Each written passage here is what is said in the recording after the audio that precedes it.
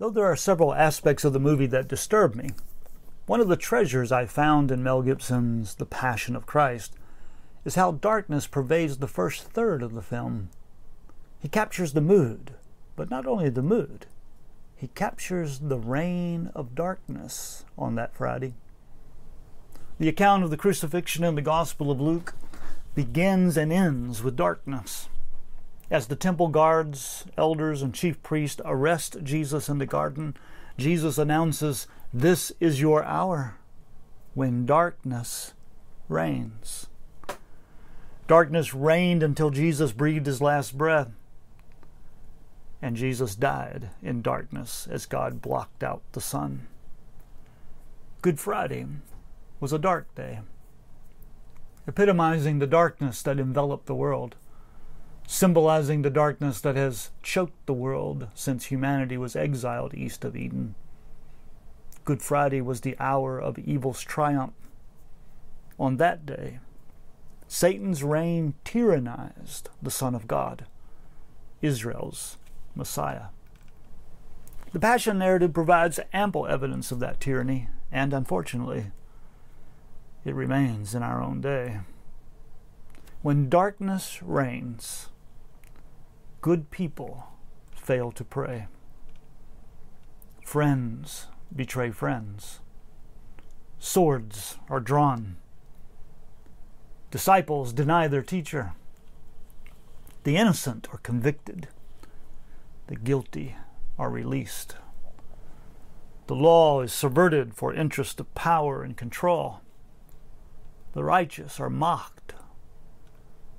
Women weep over the loss of their children. Soldiers demean and torture others. The condemned insult each other.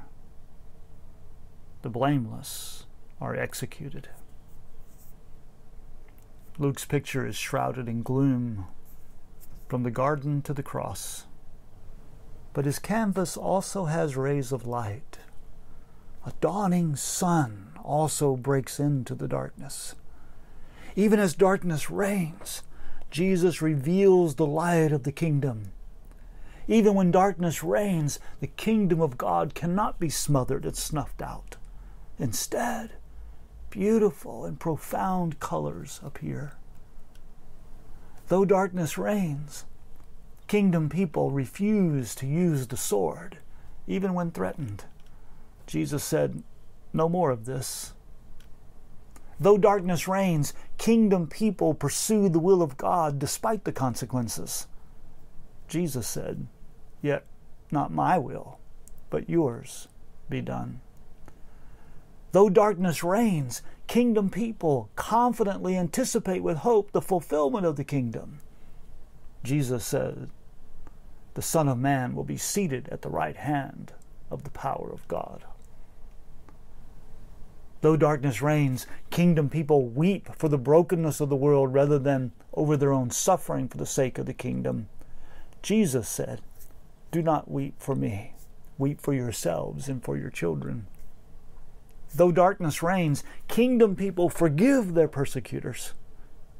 Jesus said, Father, forgive them. They don't know what they're doing. Though darkness reigns, kingdom people invite others into the kingdom. Jesus said, Today you will be with me in paradise. And though darkness reigns, kingdom people trust in God's work despite the reign of darkness. Jesus said, Father, into your hands I commit my spirit.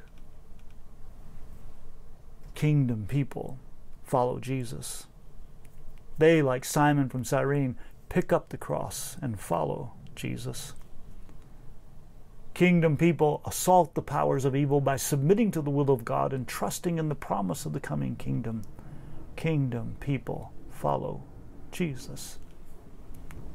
Darkness reigned on Good Friday, but the kingdom of God also broke into that darkness. Even as darkness reigns in our day, as kingdom people, we are called to follow Jesus, and it may take us to a cross.